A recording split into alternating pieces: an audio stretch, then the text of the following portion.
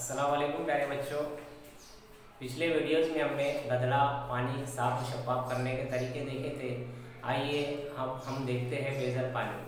Badger पानी किसे कहते हैं? जिस पानी को पीने से हमारी सेहत पर कोई खतरा नहीं होता, ऐसे पानी को बेजर पानी कहते हैं। पानी गदला साफ़ और शफाफ करने के तरीके हमने देख चुके हैं। क्या वाकई में ये पानी बेजर हो गया? नहीं। बताइए तो भला, बरसात का पानी नदी में मिल जाता है तो क्या ये पानी पीने के लायक है? नहीं। इसी तरीके से आप किसी जगह सैर या पिकनिक के लिए गए और वहाँ के झरने या कुएँ के पानी में बुआ आ रही हो तो क्या आप पानी पिएँगे नहीं, क्योंकि ये बेजर पानी नहीं है। ये हमारी सेहत पर बीमारी के तासुरात पड़ सकते हैं।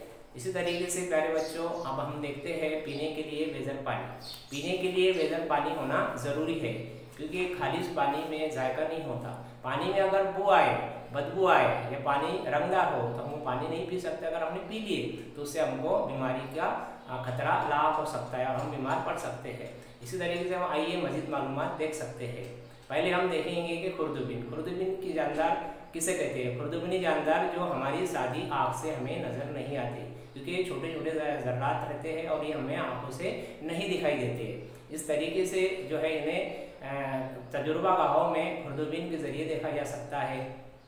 अगर हम रत्ती बराबर दही का या छाछ का कतरा लें और खुर्दबिन की पट्टी पर रखें और उसे हम देखें। तो हमको खुर्दबिन के ज़रिए बारीक बारीक ज़रात उसमें नज़र आएँगे। क्योंकि खुर्दबिन जो है, जानदार दो किस्मों के दही है, एक नुकसानदाह और एक फ़ायदेमंद। क्योंकि खुर्दबिन जानदार जब हम दही बनाते हैं तो दूध से जो है वो उसमें दही में तब्दील हो जाते हैं और बैक्टीरिया उसमें शामिल हो जाते हैं। और इस तरीके से जो है, खुर्दबिन हमारे लिए फ़ायदेमंद भी और नुकसानदार भी आइए, अब हम देखते हैं खुर्दबिन जानदार, अगर पानी में शामिल हो। क्योंकि पानी, हवा मिट्टी ज़र्रात इनों में जो है पानी के अंदर खुर्दबिनी जानदार मौजूद होते हैं। तो इस वक्त हम क्या करेंगे?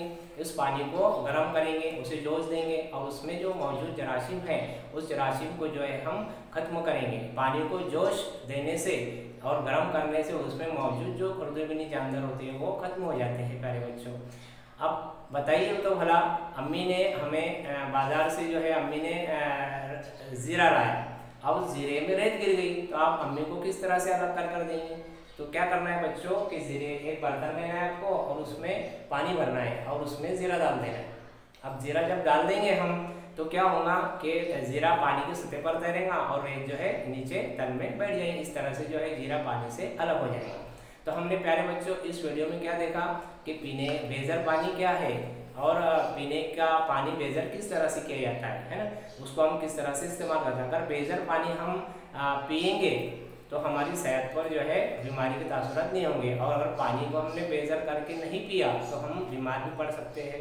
तो पानी के अंदर मौजूद जो जरासीम होते हैं, जो जानदार होते हैं, उनको उस पानी को जोश देकर जो है हमने गर्म करके पीना चाहिए, जिससे हमारे सेहत, हम पर जो है बुरा असर नहीं पड़ता, हम तंदुरुस्त रह सकते हैं। तो प्यारे बच्चों, हमने बहुत सारी इसमें मालूम सीखी इस सबक से।